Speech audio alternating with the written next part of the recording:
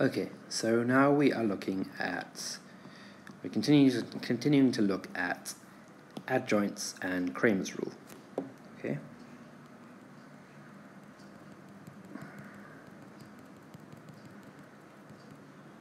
Uh, we defined what the adjoint was. We found that you multiply the adjoint by a times the adjoint, you get the determinant of a.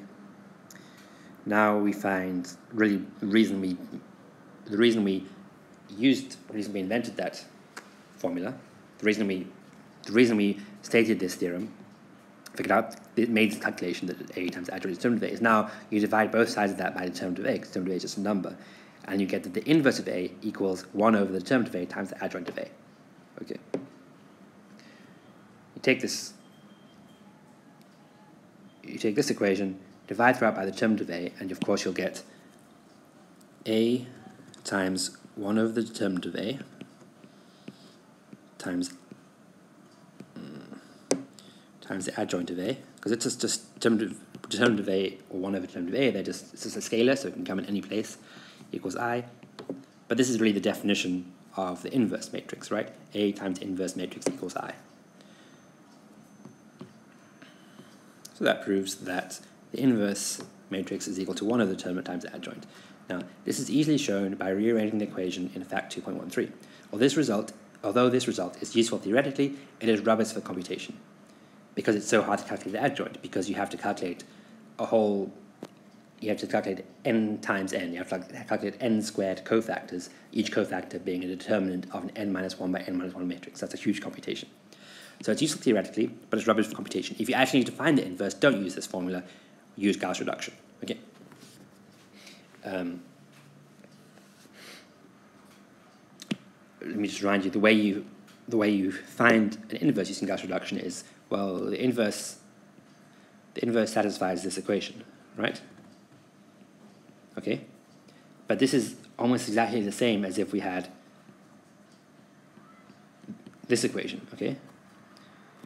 We know exactly how to solve this. You Gauss reduce this, you Gauss reduce until this A becomes in row echelon form or becomes identity. And then you find, if you reduce it until it becomes identity, effectively what you've done is you've, sorry, you have this. Now if you reduce it until A becomes identity, you'll have got to this stage. Okay, effectively what you're doing in that case is multiplying both sides by the inverse, even though maybe you didn't know that. Of course, sometimes this A is not invertible, so you don't ever get to identity, you get something with a row of zeros. But if it is invertible, this is what you're doing, you're finding the inverse effectively of A minus 1.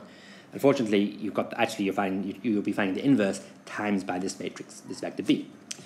So instead of using B there, let's, instead of using, we'll, we'll use the identity matrix, right? But if this is going to be identity matrix, this x, okay, which we're finding, will be the will be the inverse. Okay, so when we reduce it, we end up finding that. So we end up finding the inverse. Okay. Concretely, what that means is to find the inverse of a matrix. Don't use this adjoint thing. That's a good thing for theorizing about inverses, but not a good thing for calculating. Suppose you want to find the inverse of the matrix. I'm just going to write 1, 2, 3, 4, 5, 6, 7, 8, 9. I offhand I have no idea if that has an inverse or not. Never mind. Okay. What you do is you write down, this is what your inverse is going to appear. Should need a bit more space than that, sorry.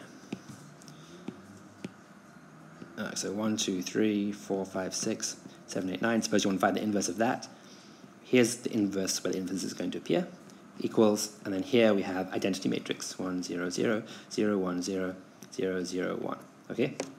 So here we have the inverse with its entries. We don't know what they are yet. We're going to find them. So A, B, C, D, E, F, G, H, I. Now what you do is you Gauss reduce both sides of this. Okay, just like when you're solving AX, you know, AX equals B, you Gauss reduce until this thing becomes identity. Okay? And when it becomes identity, this unknown thing here, a, b, c, d, e, f, will equal what it will be equal to, what you'll have here, because you'll be doing the same Gauss operations to the right-hand side, that, that what you have here will be the inverse, right? Okay.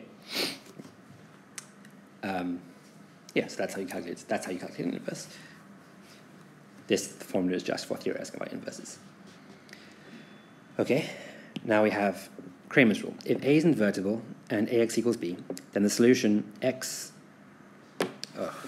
the solution X, so this uh, X1, X2, Xn transpose, that's just because they didn't want to write X equals X1, X2, Xn because they felt that would mess up the formatting because it's so tall.